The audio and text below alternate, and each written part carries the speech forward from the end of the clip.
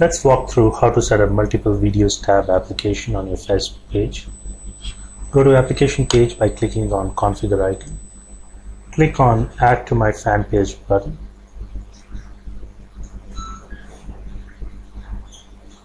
Here.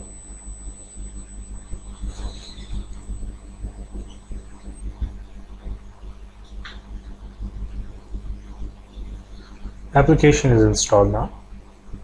To go back to Management Console, click on Edit Settings link or connect with Social Apps HQ.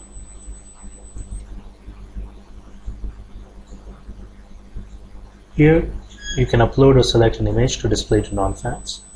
When users like your page, they see the rest. In general, enter the YouTube video ID. You can also enter video IDs from um, Metacafe and Vimeo. You can upload you can add unlimited number of videos here.